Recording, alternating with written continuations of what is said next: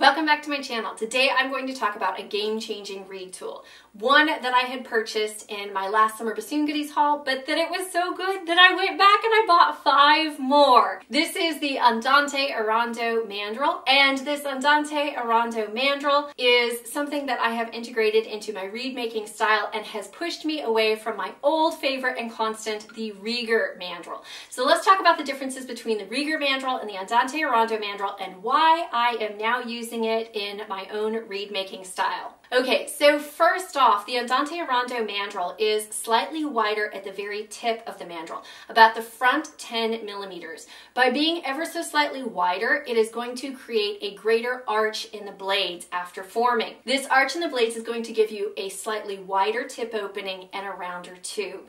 Now the rounder tube is what I had really been looking for because that's immediately going to give me darker colors, easier response, and it's also going to lower the pitch so that I'm never worried about running ever so slightly sharp. This is something that I had originally done to the Rieger mandrels. After forming a reed and as I was breaking the reed in, I very consistently will end up rounding out the tube.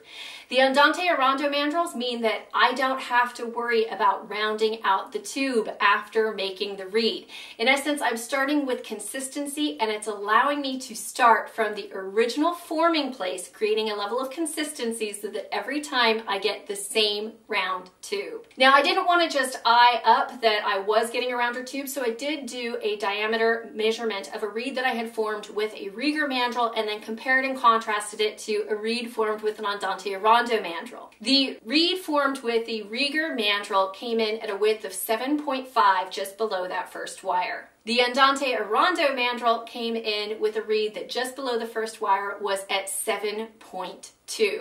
So for me, this is fantastic because I no longer am worried about rounding out the tube after I have formed the reed, and I'm also able to take off the second wire. Now, if you watched my last video, you know that it's become kind of trendy, especially with the European players, to go ahead and have a triple wrapped first wire, and then some of them will even take off the second wire. In order to take off the second wire, you need the tube to initially be formed the way you want it to so that you're not looking to round out that second wire, but there's no second wire there.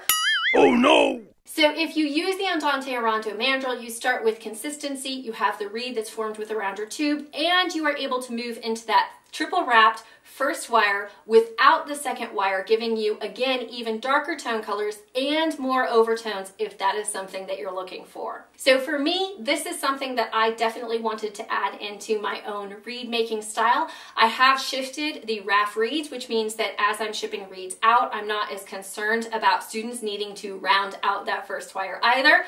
And it is something that I think has taken my reed making to the next level. If you have experience working with a triple wrapped first wire or you also have worked with the Andante Arando mandrel. I would love to hear your thoughts and how it has differed from the Rieger mandrel for you. If you enjoyed this video, be sure to give it a thumbs up. And if you don't want to miss a future video, be sure to click that subscribe button and I will see you guys next time. Bye!